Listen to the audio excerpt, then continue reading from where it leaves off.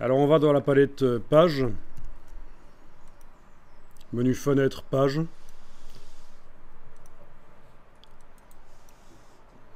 Ah tiens, on avait démarré d'un document euh, double page, et puis on l'avait transformé en un document simple page en allant dans le menu fichier format de document. On avait décoché page en vis-à-vis.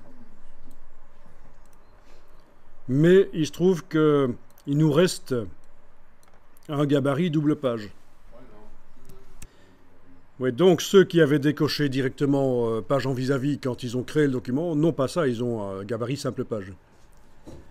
Bon, si vous avez un gabarit double page, je vous montre comment le transformer en un gabarit simple page. Ça vous servira toujours, ça. Clic, majuscule clic, j'ai activé les deux pages du gabarit. Les gabarits, vous connaissez, vous savez à quoi ça sert.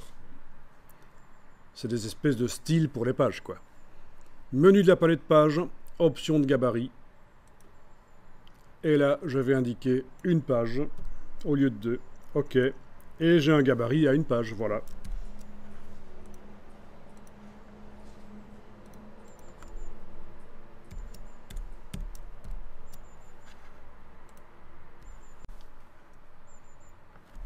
Alors vous allez double-cliquer sur le gabarit pour aller dedans. Et on va créer des colonnes guides. On va créer des colonnes guides dans le gabarit. Menu page, créer des repères. Je coche la case aperçue. Je vais déterminer le nombre de colonnes, par exemple 12. La valeur de la gouttière, par exemple 2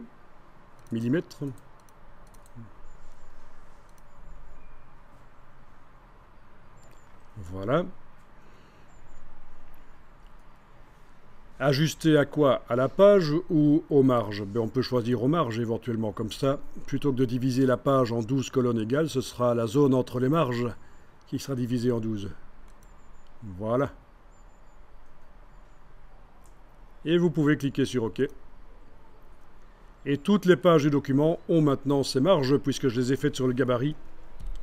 Bon. Si je vais sur la page 1, double-clic sur la page 1 dans la palette page, on voit les euh, marges, les repères, les colonnes. Alors travailler sur base de colonnes comme ça, euh, c'est euh, c'est intéressant, c'est un début de grille modulaire, on appelle ça les grilles modulaires.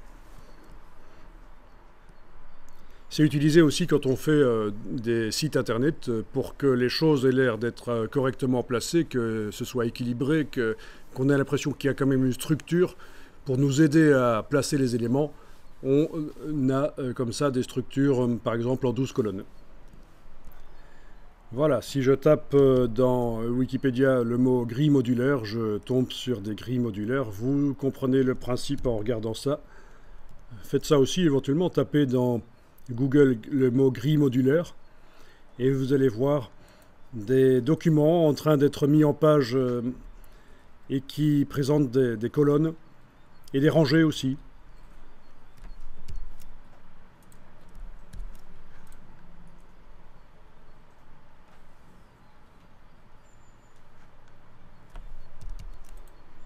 Très utile quand on va placer des images, quand on va faire des blocs à différentes largeurs.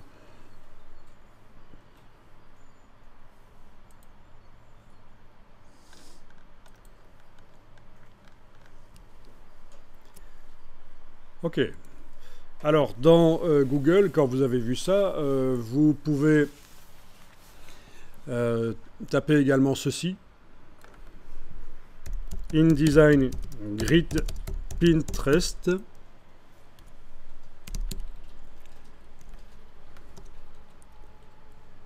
Là, dans Grid, on a dit pas gris. InDesign Grid, comme grille en anglais. InDesign Grid et Pinterest. Et là, vous trouvez plein d'exemples. Il y a des gens qui, dans Pinterest, euh, répertorient euh, des images de publication qui sont basés sur des grilles. Et ça, c'est très intéressant pour euh, familiariser votre œil avec des bonnes publications. Donc, vous pouvez faire des contrôle-clic contrôle-clic sur euh, certains, certaines images qui montrent des magazines. Ça s'ouvre dans un nouvel onglet, vous pouvez aller voir ça, vous demandez consulter. Ça devrait vous amener vers le Pinterest en question. Voilà. Donc 20 exemples de, de modèles de,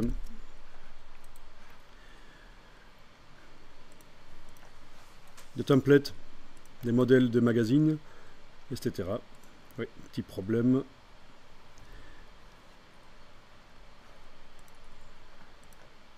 Je réessaye avec d'autres images.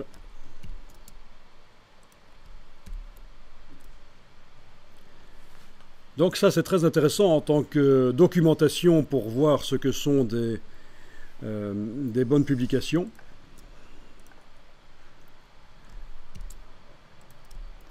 D'aller consulter des Pinterest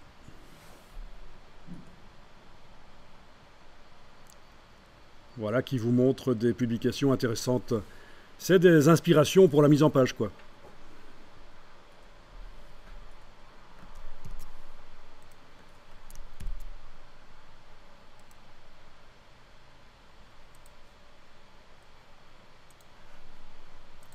Ok. Puis il y a aussi des modèles qui se vendent, en fait.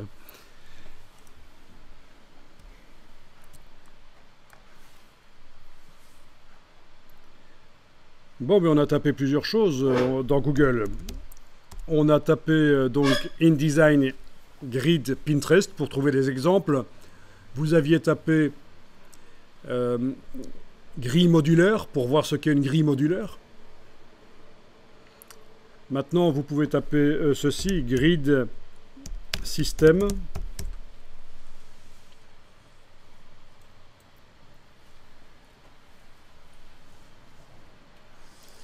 Et vous devrez trouver dans la liste quelque chose qui s'appelle 960 Grid System.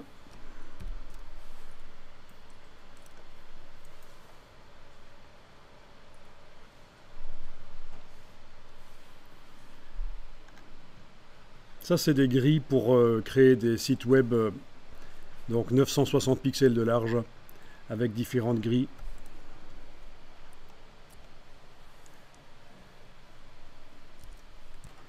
Si vous tapez Grid System InDesign, vous avez un autre qui arrive là, The Grid System. Allez sur ce site web qui s'appelle thegridsystem.net. Et eux proposent gratuitement au téléchargement des documents InDesign vides qui possèdent déjà des euh, systèmes de grilles que vous pouvez utiliser pour positionner vos éléments. Donc voyons un peu ça. Euh, InDesign A4 Grid System par exemple. 12 colonnes, c'est ça qui est indiqué entre parenthèses.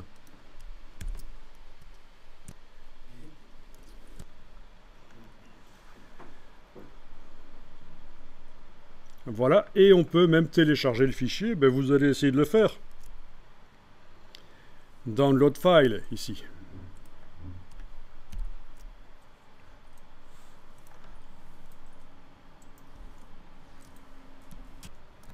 Voilà, quand vous avez téléchargé, ça va très vite parce que c'est minuscule. Vous avez un fichier zip qui arrive, je vais le déplacer dans mon dossier d'aujourd'hui. Je vais voir dans mon dossier d'aujourd'hui le fichier zip, je vais euh, sur le PC faire un clic droit extraire, sur le Mac je fais un double clic. Et voilà un document InDesign qui arrive, c'est leur document qu'ils vous ont fourni. Si vous l'ouvrez dans InDesign, en espérant que ce soit compatible avec la version qu'on a ici, vous allez voir, voilà, un système de grille à 12 colonnes. Voilà, eux aussi euh, ont euh, la zone intramarge, ils l'ont divisée en 12 colonnes. Ils ont mis des gouttières plus grandes que ce qu'on a mis. Ils ont mis également des rangées avec des, gouttières. Bon ben voilà, ça c'est un exemple. Pas certain que vous allez réussir à l'ouvrir en fait, parce que je vois que ça a été converti et c'est possible qu'il faille le cloud de Adobe pour que la conversion se fasse en ligne. Ça ne s'ouvre pas? C'est ça.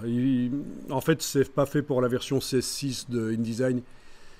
Il faut euh, l'ouvrir avec euh, une version plus ancienne, plus, plus récente, je veux dire, plus récente, une CC, CC 2017, 2018. Mais chez moi, j'ai réussi à l'ouvrir quand même dans InDesign C6 parce que j'ai euh, des versions plus récentes de InDesign installées et ça a fait appel au système cloud pour convertir en ligne. Bon, mais peu importe, de toute façon, on ne va pas l'utiliser. Euh, je ferme le document ici. Euh, ce qu'il faut bien comprendre, c'est que c'est vraiment un système professionnel, euh, ce système des grilles modulaires. Ça aide vraiment à faire des magazines qui, tels que ceux qu'on a vus, des magazines qui vraiment présentent un bon look, un bon positionnement des éléments, des, voilà, des,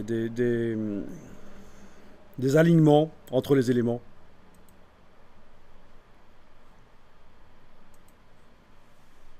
Plutôt que d'essayer de tout faire à l'œil, la grille va vous aider.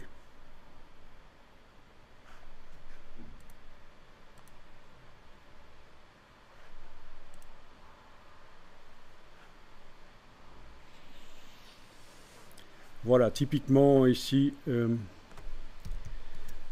ça devrait se sentir par exemple que la colonne de gauche ici sur la page de gauche a la même largeur que la colonne ici à droite, que l'image ici a la même largeur que la colonne de texte. Voilà, ça, ça n'empêche qu'on peut faire des mises en page très créatives comme celle qu'on voit ici, mais euh, on sent qu'il y a derrière ça une structure, et ça c'est l'utilisation de la grille qui permet la structure. C'est pas positionné complètement à l'œil. On s'est aidé de la grille et ça se sent.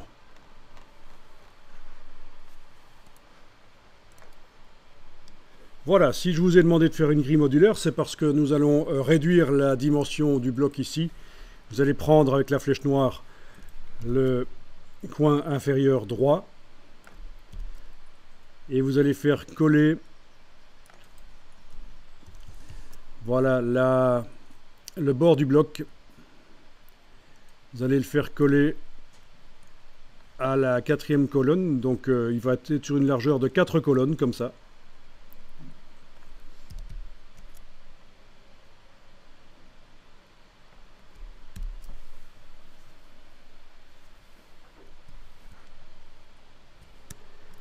Va faire plusieurs tests, donc euh, on va également dupliquer le bloc. Vous prenez avec la touche Alt, vous prenez le bloc, vous le dupliquez comme ça, voilà.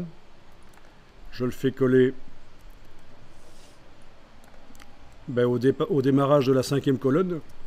Et il va avoir une largeur, celui-là, une largeur de, comme ça, 5 colonnes.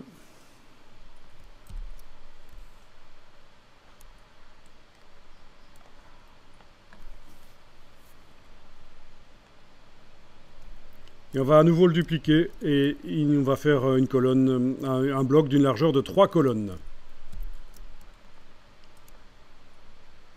Donc le même texte sur euh, trois largeurs de colonnes différentes, euh, trois largeurs de blocs différents.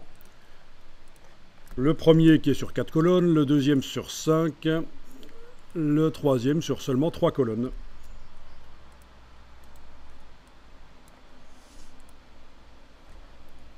Comme ça, on va pouvoir faire des petits tests de typographie, de réglage typographique. Enregistrer le document sous un nouveau nom.